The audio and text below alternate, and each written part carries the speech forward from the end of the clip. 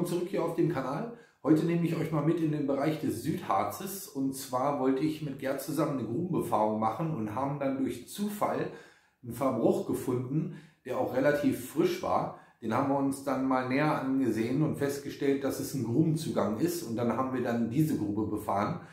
Äh, die Befahrung ist allerdings schon aus dem Jahr 2020 ich habe mittlerweile so viel Videomaterial, dass ich wahrscheinlich ein Jahr gar nichts mehr machen bräuchte und könnte alle zwei Wochen ein Video hochladen. Ähm, für alle, die selber YouTube machen, wissen, wovon ich rede. Es ist teilweise sehr zeitaufwendig, die ganzen Videodateien zu schneiden, zu bearbeiten, zu vertonen, das fertige Video dann auf Fehler zu überprüfen, bis es dann hochgeladen ist, ist immer ein Heidenaufwand. Äh, ich habe es jetzt aber endlich mal geschafft, diese Befahrung fertigzustellen, weil ich euch die auch nicht vorenthalten möchte, weil es war definitiv eine echt kranke Befahrung. Ich würde in die Grube auch nie wieder reingehen. Unheimlich gefährlich.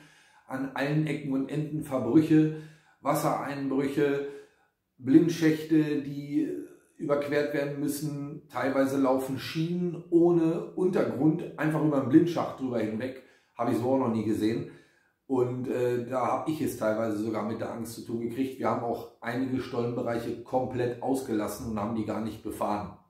Zur Grube selbst kann ich sagen, ähm, es müsste auf Eisenstein gebaut worden sein. Ich kann es aber nicht genau sagen. Da in diesem Bereich mehrere Gruben gebaut haben, kann ich auch nicht genau sagen, um welche Grube es sich jetzt genau handelt. Ähm, die Aufnahmen sind echt gut geworden und die zeige ich euch jetzt.